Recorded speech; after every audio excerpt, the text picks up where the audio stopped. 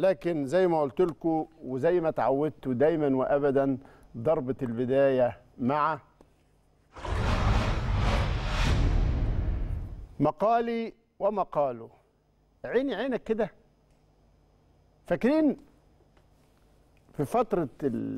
قبل بداية السيزون والأندية بتجيب لاعبتها وكان كأس العالم لكرة اليد شغال واتقال إنه رئيس اتحاد كرة اليد هشام نصر بيتدخل لتسليك انتقال لاعبين لنادي الزمالك والمهم إبعادهم عن النادي الأهلي. إبعادهم عن النادي الأهلي هدف أساسي. يروحوا للزمالك يفضلوا في أنديتهم وقلنا كتير مش معقولة. إحنا بنتكلم على رئيس اتحاد وبنتكلم على حقوق عدالة في تسيير اللعبة بين الأندية المختلفة. كابتن هشام نصر لما ترشح في نادي الزمالك في الانتخابات الأخيرة على مقعد نائب الرئيس ولم يوفق ظهرت من ضمن محاولات الدعاية ليه حاجة الحقيقة أنت عثرت عليها بالصدفة. أنا آه لقيتها بالصدفة بعتها لك. تقول لي رأيك فيها إيه؟ إيه اللي جبتها ولا إيه؟ الحقيقة الكابتن حمادة الروبي في ال... كان مستضاف في الكلاب هاوس بيقول نصا هشام نصر هو سبب انتقال قداح للزمالك بدلا من الأهلي. ضغوطات هشام نصر كانت قوية جدا على اللاعب خصوصا إن الزمالك ما كانش عارف يخلصه والأهلي اللي كان بيخلص فيه أو في اللاعب. هشام نصر ساعد الزمالك كتير جدا ووقف جنب النادي وساهم في ضمه لافضل العناصر في مصر طوال سنوات تواجده في رئاسة اتحاد كرة اليد. هو إحنا لما ما إيه قلناش موضوع كده؟ قداح بقى؟ لأنك كنت طرف فيه ما كنا طرف وحكيناه. آه. قداح كان بيلعب في كأس العالم للناشئين. أيوه. هو لاعب و- نادي الشمس مش كده؟ لاعب نادي الشمس. امم وإحنا كنا متابعينه قبل كده. أيوه. قبل ما يوصل النهائي أنا كنت متواصل مع نادي الشمس ورئيسه ال- الزميل أسامة أبو زيد. أيوه. وأنهينا الإجراءات. مهم. لدرجة إنه يعني أنا كنت عارف ان كل ما نكسب هو كان عمل حركة شاطرة يعني. مهم. يعني طلب مليون قلنا له okay. عدينا المرحلة وداخلين بقى على المراحل المراكز راح مزود طالب 2 مليون. أول ما لعبنا ال final ليلة ال final قال لي لو جبت لي 3 مليون هخلصه. مش عايز أتكلم في كواليس أكتر من كده اللعيب كان مرحب وأسرته كانت مرحبة والنادي كان مرحب جدا نادي الشمس. وقلت له طيب أنت عمال بتطلب مني بالتليفون وأنا بقول لك أوكي. ابعت لي الكلام اللي أنت قلته كده بجواب للنادي الأهلي. راح باعت إنك أنتوا لو بعتوا 3 مليون تحصلوا على اللاعب. جواب رسمي. ردينا عليه بالموافقة. وراح عمر شوقي.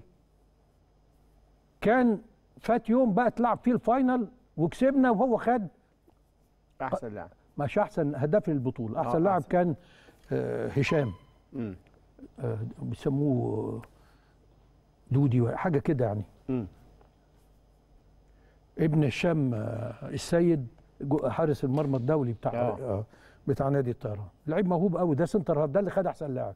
إنما هداف البطولة خدها قداح قداح طول فارع وعنده إمكانيات وواعد وعارفين إن هو جاي فما استخسرناش فيه إن إحنا ندفع المبلغ ده لأن عارفين إنه ده هيبقى استثمار وصغير في السن حدث شيء غريب جدا جدا جدا مم. اسامه كان عايز يحترم كلمته مم. وكان متمسك رغم ان هو زملكاوي بس قال لي أنا محترم اتفاقي معاك ولكن حصل حاجة الماتش خلص اللي بيدرب المنتخب كابتن حسين زكي.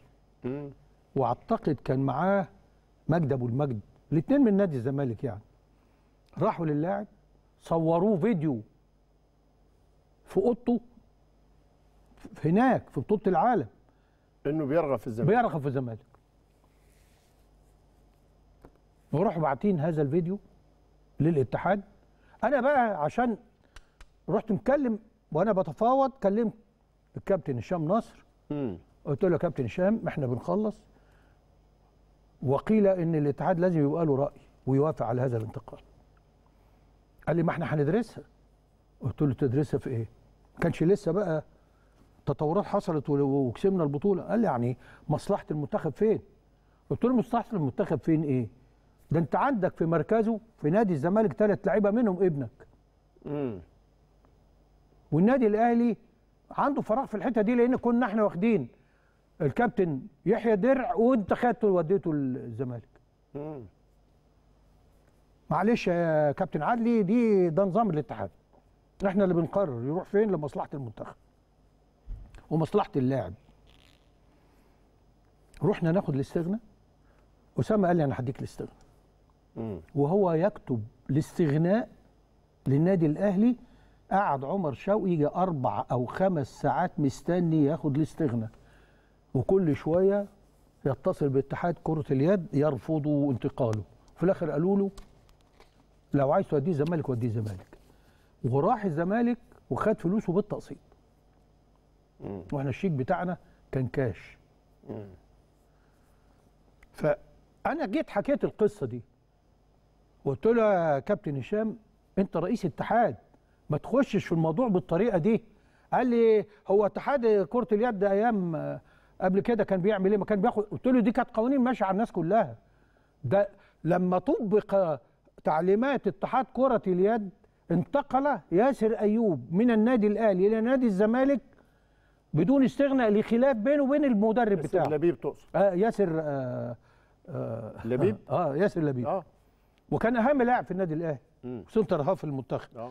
اختلف مع المدرب بتاعه خلاف كبير و- واتحاد كرة اليد خاف على مستوى اللاعب فسمح له بالانتقال إلى نادي الزمالك. وانتقل لمدة عام ورجع بعد كده بعد ما انتهت المشكلة ولا سافر بره المهم يعني فلم يستفد النادي الأهلي من أي قرار آه، في استثناءات خالص. فحضرتك ما تجيش تقول لي دي زي دي. انت عندك قوام منتخب مصر الرئيسي وده لاعب ناشئ. هيروح النادي الأهلي هيلعب بصفة أساسية مكانه موجود. اللي حصل؟